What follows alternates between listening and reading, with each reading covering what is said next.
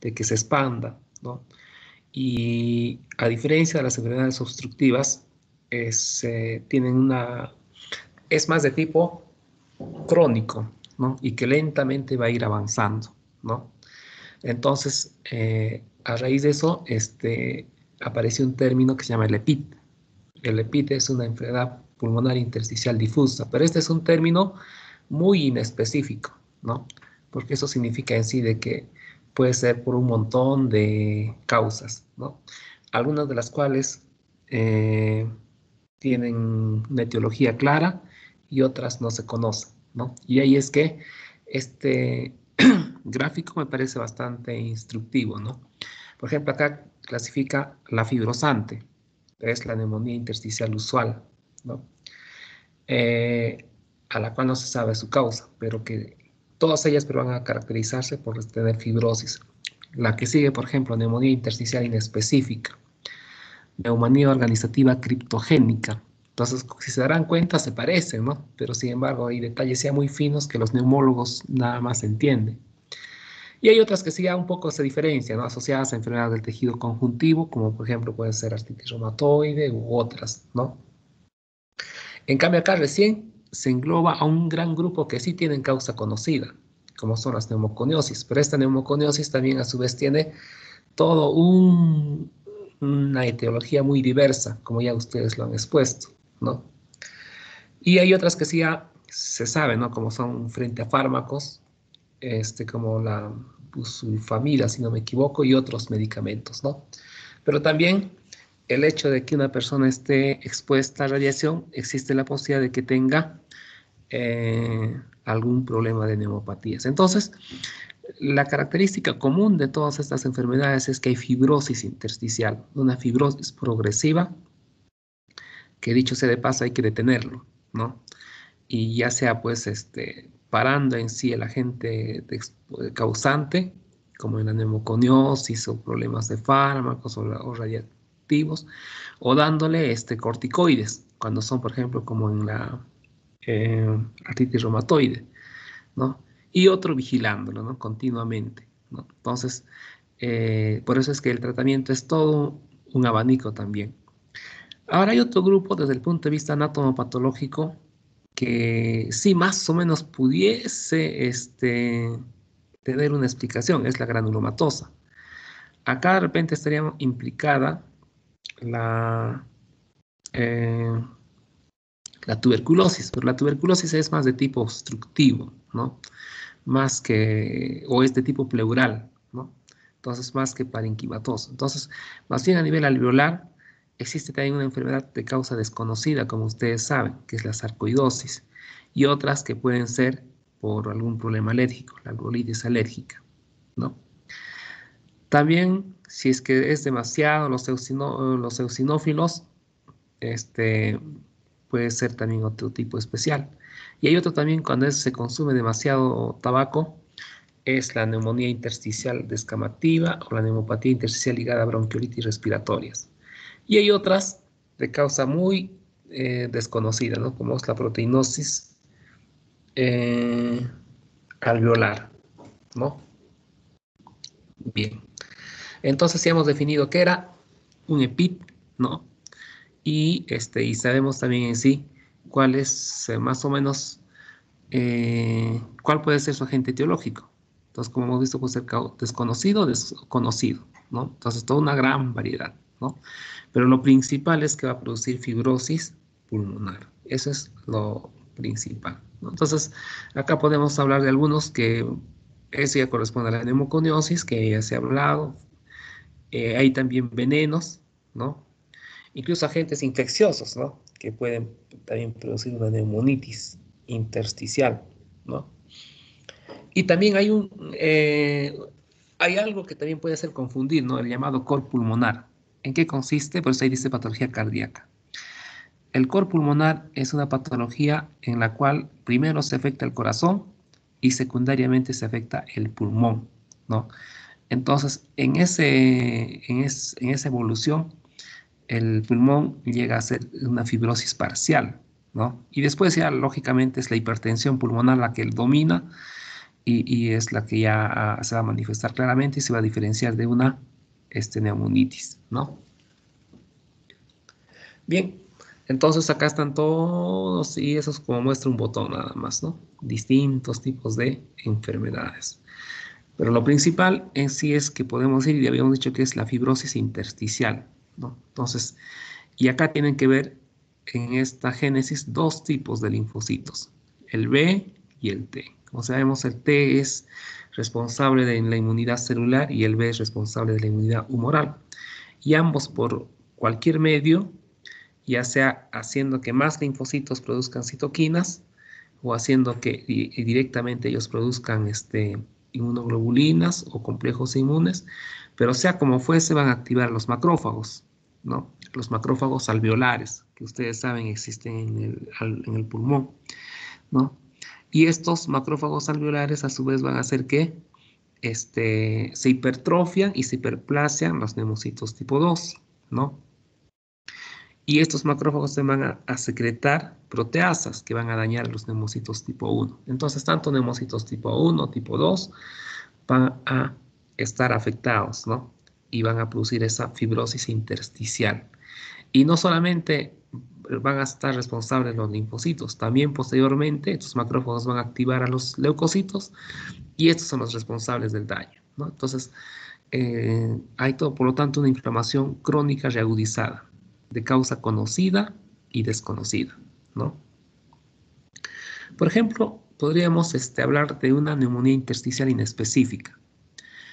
Eh, afloró al comprobar que existe un grupo de pacientes con una neumopatía intersticial difusa de causa desconocida cuyas biopsias pulmonares no manifiestan los rasgos diagnósticos correspondientes a cualquiera de los demás procesos intersticiales perfectamente caracterizados.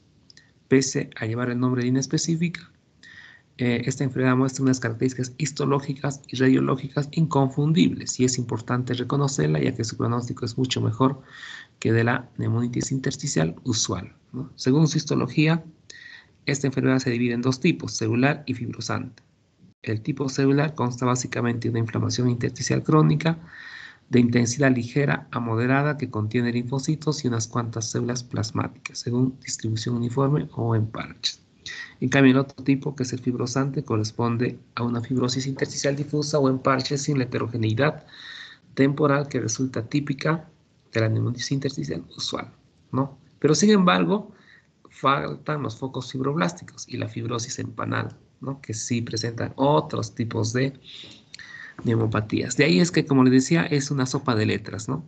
En diversos existen, no hay un consenso único, ¿no? Existen clasificaciones y subclasificaciones, pero sin embargo, desde el punto de vista terapéutico, es muy poco el arsenal, ¿no? Que se puede ofrecer a estos tipos de pacientes. Bien, después de haber hecho una introducción a lo que el EPIT, ahora vamos a hablar del cáncer, el cáncer al pulmón. Eh, el cáncer al pulmón también se puede diferenciar en dos tipos, ¿no? desde el punto de vista de origen eh, o de localización en todo caso. En cáncer central y cáncer periférico. Cuando hablo de cáncer central, es aquel que resulta en sí de una metaplasia del epitelio respiratorio, del epitelio eh, pseudoestratificado ciliado, que se va a convertir en escamoso y eso se va a convertir posteriormente en displasia y de la displasia en un cáncer epidermoide, ¿no? Eso tiene como, generalmente, no es la única, tiene como causa el hábito de fumar. Es el, tabaco es el que va a producir esa metaplasia. Pero sin embargo, existe otro tipo de cáncer, que es el periférico, es decir, aquel que está este, muy cercano a la superficie pleural.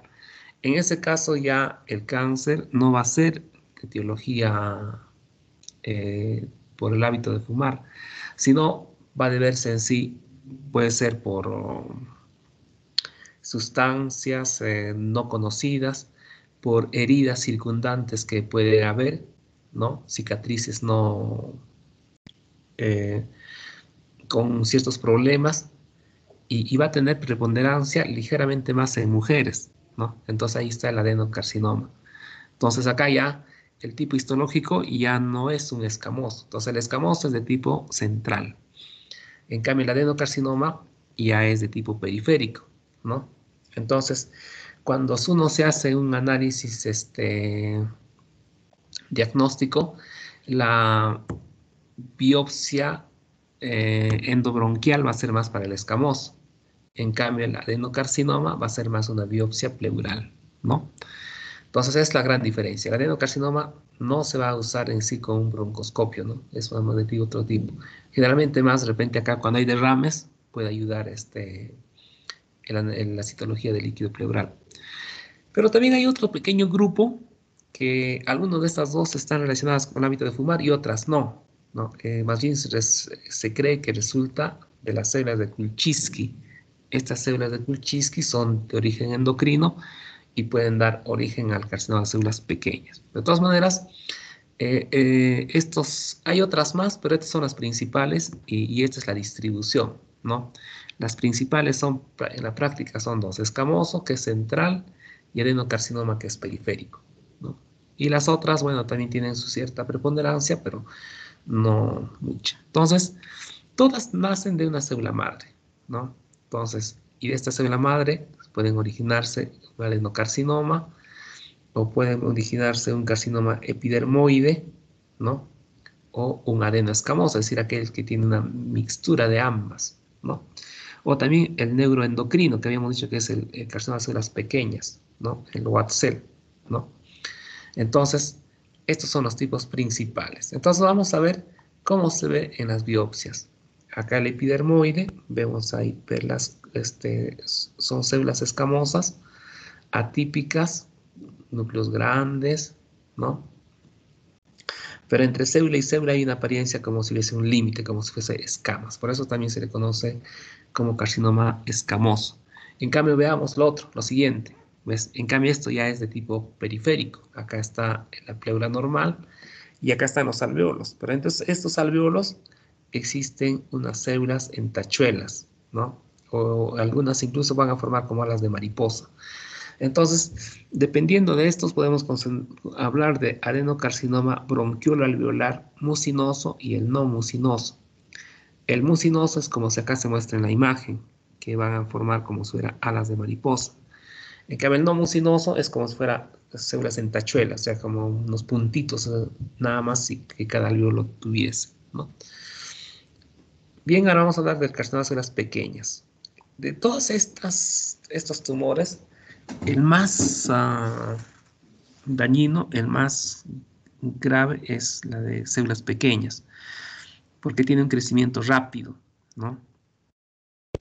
Y hacen metástasis a distancia, ¿no? Y, pero al principio tiene una buena respuesta a la radioterapia, pero después ya la malignidad este, es más severa y el paciente ya pues eh, tiene mal pronóstico, ¿no?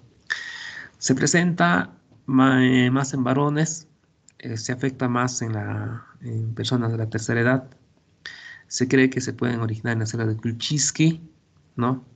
Y también acá este, no hay una, a diferencia del escamoso, que es casi en su mayoría está relacionado al cigarro, acá no, hay toda una variedad, ¿no? Puede ser el cigarro, la radiación, el éter metílico, el clorometil, ¿no?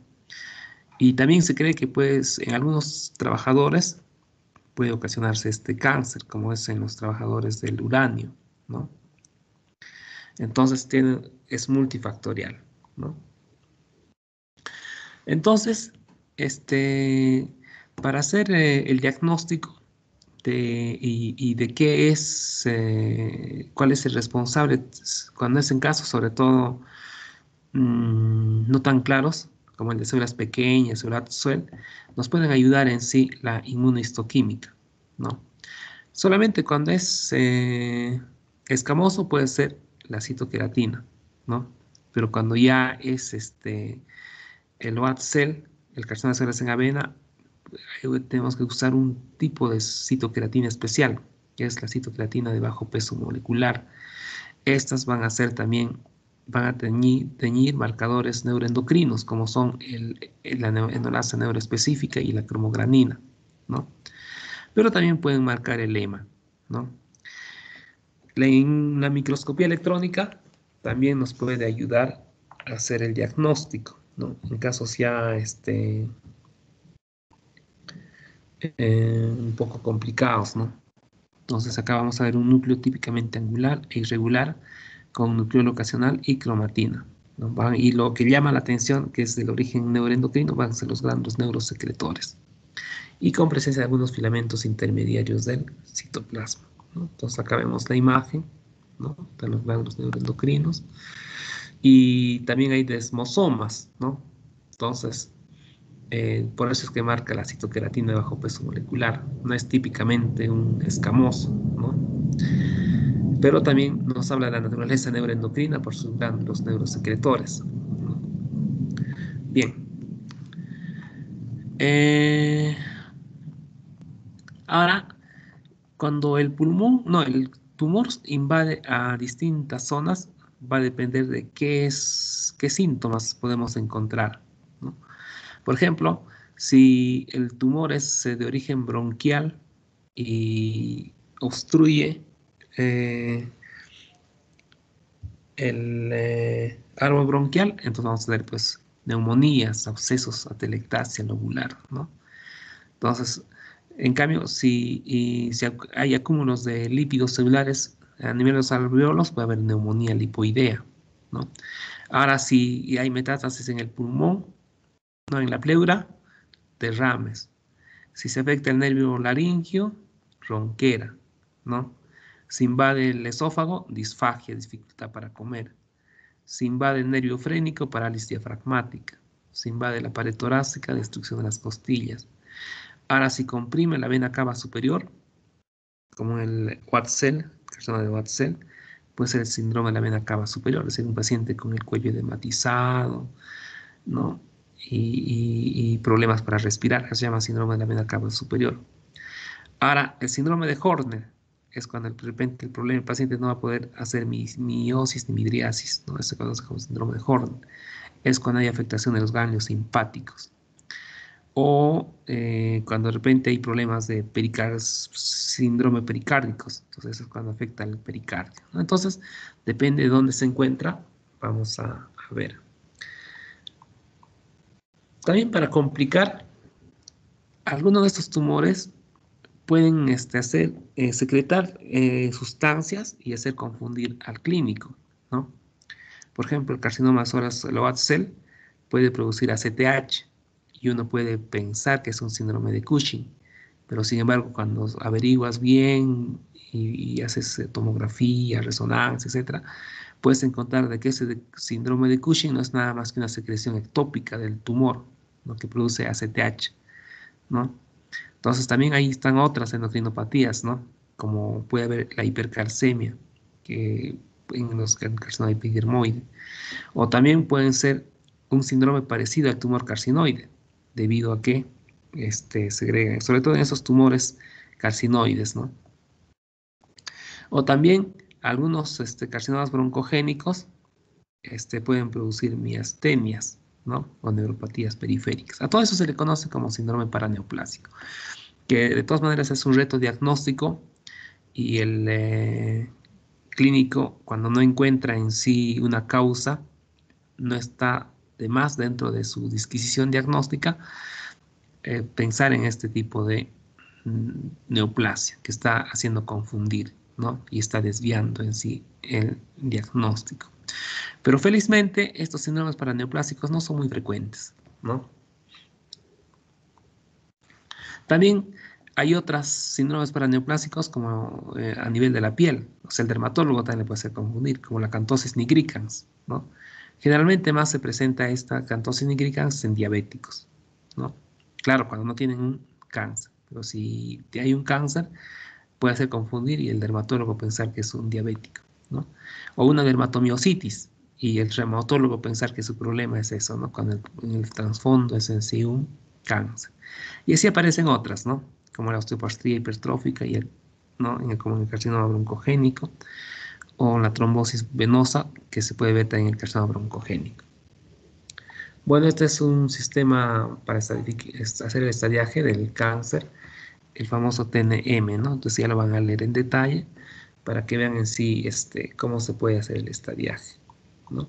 Entonces vamos a mostrarle cómo es el carcinoma broncogénico. Eh, acá está el árbol bronquial, acá está este, un bronquio que se ha afectado, se ha obstruido, por también blanquecino, y un ganglio que también probablemente tiene metástasis ya, ¿no? A este ganglio. Pues sobre todo se sospecha por esta zona de necrosis, de hemorragia. ¿Y por qué se sospecha que el bronquio está afectado? Porque hay obstrucción, hay áreas blanquecinas. Acá este es un normal, normal, pero acá está obstruido. ¿no? Entonces esto ha resultado ser un carcinoma de células pequeñas. Este carcinoma de células pequeñas también este, te puede hacer confundir si uno no es muy acucioso. ¿no? Uno puede pensar que le haces, un, por ejemplo, un esputo y en el esputo ves esto, a puros linfocitos, ¿no? entonces una inflamación crónica.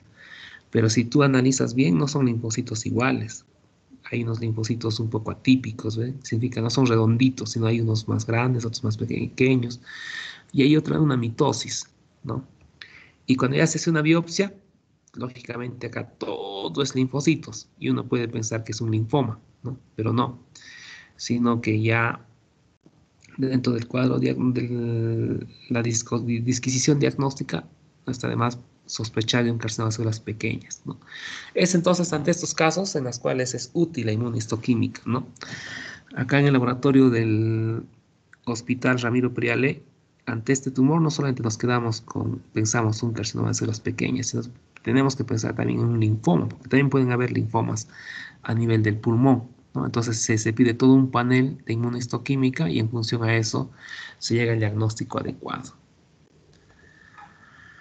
Bien, entonces esto es para ver que también los tumores no solamente pueden estar a nivel del pulmón, también pueden estar en el mediastino.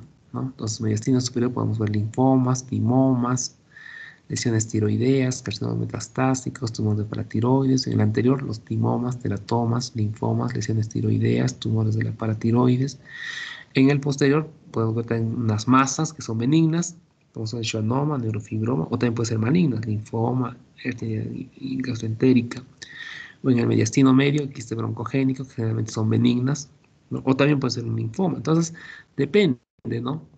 De que clínicamente a veces no es tan fácil, requieren esos tipos de tumores de un examen radiológico y dependiendo de dónde se encuentra, este, ya se hace la interconsulta cirugía de cabeza y cuello y él es el que va a tomar la biopsia.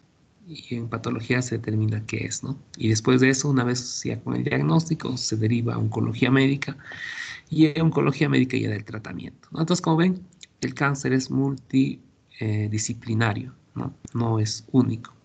Pero de todas maneras, eh, es... Eh, hay que tener en cuenta los aspectos básicos. ¿no? Entonces, ¿cuáles son esos medios de ayuda diagnóstica?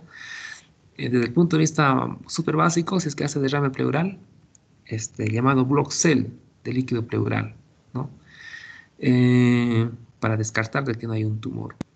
En cambio, este, las biopsias, y eso sí ya lo tiene que ser el, el neumólogo, ¿no? con su endoscopio. Pero de todas maneras, no está de más en sí, como ustedes que van a hacer en la primera etapa médicos generales, eh, hacer, preguntarle qué, hábitos tiene, ¿no? Si es un fumador, una de las posibilidades es el cáncer de pulmón, ¿no? Bien. Entonces ahora vamos a hablar eh, un poco del derrame pleural.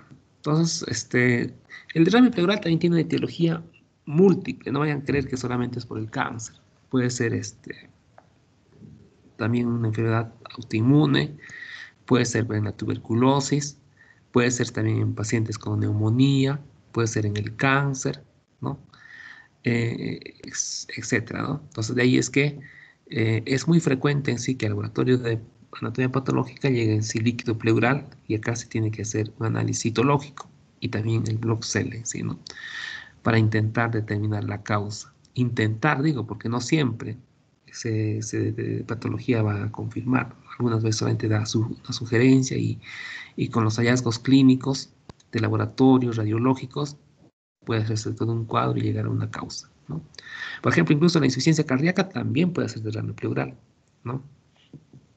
Entonces, como verán, hay toda una serie de motivos Vamos a hablar de tumores que también pueden ser benignos. Uno puede pensar y creer que es un tumor, pero sin embargo cuando ya este, observas en sí que es un nódulo bien delimitado, entonces este, ahí ya le hacen una biopsia y se encuentra en sí pues que es, no era un tumor, sino era un tumor fibroso, ¿no? Entonces, antiguamente este tumor se llamaba mesotelioma benigno o mesotelioma fibroso benigno, pero actualmente ya no, porque el mesotelioma benigno no existe. El mesotelioma de por sí es maligno, ¿no? Y más se considera que no se sabe el origen, puesto que es eh, tejido fibroso. Y ustedes dirán, pero tejido fibroso en el pulmón, qué raro, ¿no? Pero sí, pues, existe eso. Entonces se llama como el tumor fibroso solitario. Y acá se puede, eh, hay marcadores de inmunistoquímica que ayudan también, ¿no? Como el CD34, que cuando es positivo ayuda a determinar. Y es benigno, ¿no? Lógicamente el KI67 va a ser negativo. Acá vemos la imagen, ¿no? Está bien delimitado, ¿no? En el parénquima pulmonar. Eh, el diagnóstico no es tan fácil. Por eso acá dice, existe un largo periodo de latencia de 25 a 45 años antes de desarrollarse el mesotelioma, relacionado con la mía. No, no, este es acá. Este, ya, el mesotelioma. El mesotelioma, en cambio, tiene su origen en sí en la exposición al asbesto, ¿no? Entonces, este asbesto, como hemos visto, existe en la industria de la construcción, en la industria este, marina, ¿no?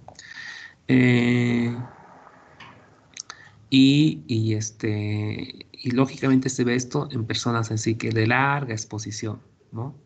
A esto. Y, tiene que ser intensa, ¿no? Pero felizmente esto ya está empezando a disminuir la incidencia, puesto que eh, ya se está teniendo bastante cuidado, ¿no? pero de todas maneras, existe la posibilidad de que una persona con una exposición crónica de largo dato puede desarrollar un mesotelioma, ¿no? Porque en un inicio eh, generalmente más puede producir una neumonitis intersticial, ¿no? Pero también puede producir en algunos un mesotelioma, ¿no? Entonces, este, lógicamente también tiene que haber una predisposición genética. Y se han visto en sí que los que tienen delecciones para los cromosomas 1, 3, 6, 9 o 22 pueden hacer esta enfermedad, ¿no? Y también los que tienen mutaciones del P16. Desde el punto de vista microscópico, los mesoteliomas pueden tener dos variedades, tres variedades, epitelioide, sarcomatoide y mixto. Entonces acá vamos a ver, esto ya es un mesotelioma muy marcado, ¿no? El engrosamiento pleural. ¿eh? Ya con la eh, resonancia y con la radiografía también, ¿no? Incluso porque puede haber calcificaciones y eso a veces ayuda, ¿no? Sobre todo cuando hay una clasificación radiológica este, pleural, hay una sospecha de eso. Esta es una imagen del mesotelioma, ¿no? Y el que va a ayudar es en sí los marcadores para el mesotelio, como son el, la carritinina, el TTF1, ¿no? Que es lo que va a ayudar. Porque no es tan fácil. Por ejemplo, vemos esta imagen y uno puede pensar que es un adenocarcinoma. Entonces, para el, para el adenocarcinoma, es otros marcadores son el C, el EMA, ¿no? Entonces, acá, en cambio, tienen que ser otros más específicos, ¿no? Entonces, eh, no es tan fácil hacer el diagnóstico de mesotelioma desde el punto de vista con el HE nomás, ¿no? Entonces, eh, por eso es que la información en sí, este, para que se haya, un buen diagnóstico, también se tiene hoja en la solicitud de anatomía patológica, debe de hallárselos o informarse y ponerse los datos clínicos para que de esa manera también ver y, a dónde orientar, ¿no? Para no hacer un análisis a la ciega. Entonces, como les decía, no es tan fácil, incluso tanto es que a veces, si no hay inmunistoquímica, o aún así, a veces con la inmunistoquímica puede ser un diagnóstico difícil entre, entre confirmar entre un adenocarcinoma pulmonar y un mesotelioma. ¿no? Entonces acá este, podemos la microscopía, pero el que va a diferenciar y va a definir en sí si eso no es, es la microscopía electrónica.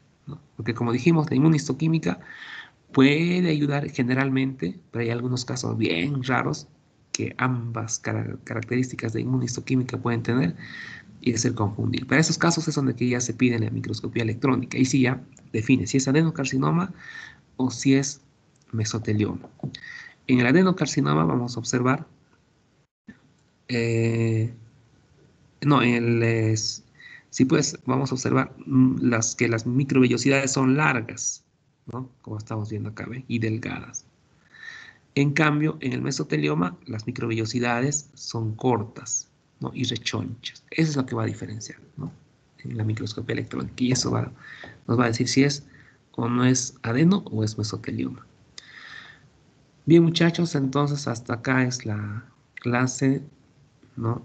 Ahora vamos a este, hacer un receso de, bueno, que ya no tanto, ¿no? Ya son las 6 y 8. Entonces vamos a continuar con la práctica. Bueno, pueden estar los del otro grupo, puesto que es la misma diapositiva que el doctor eh, Maita ha presentado, ¿no? Entonces vamos a eh, compartirles ahora la práctica de la, la segunda práctica, creo que es.